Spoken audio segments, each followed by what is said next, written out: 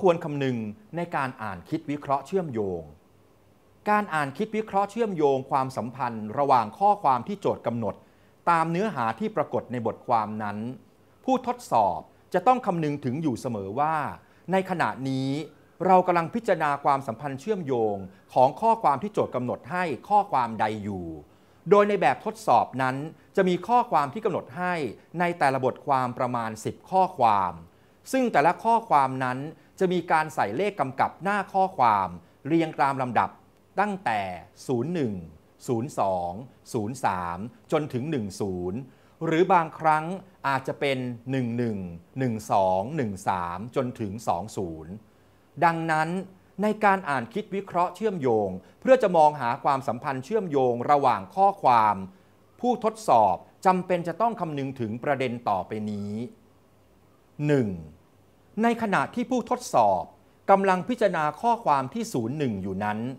ผู้ทดสอบจะต้องเข้าใจว่า ข้อความที่เหลือทั้งหมด คือตั้งแต่ข้อความ 02 03 จนถึง 10 นั้น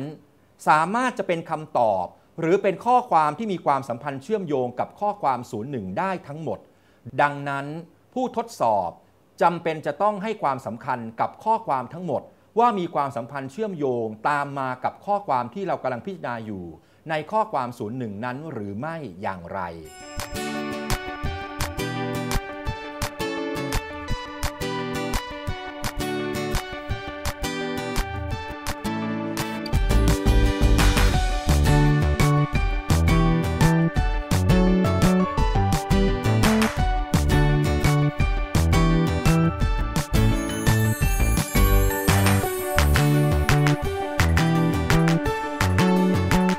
2. มีความเป็นไปได้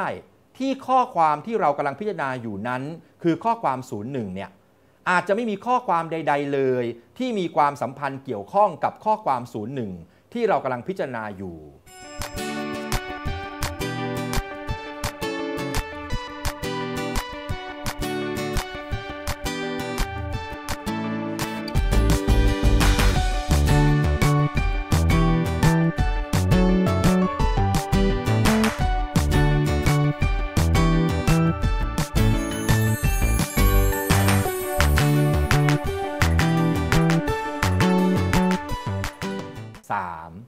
และมีความเป็นไปได้อีกเช่นกัน ที่ข้อความที่เรากำลังพิจารณาอยู่นั้น อาจจะมีความสัมพันธ์เชื่อมโยงกับข้อความอื่น ๆ มากกว่า 1 ข้อความ โดยอาจจะเป็น 2 ข้อความ 3 ข้อความ หรือมากที่สุดคือ 4 ข้อความก็ได้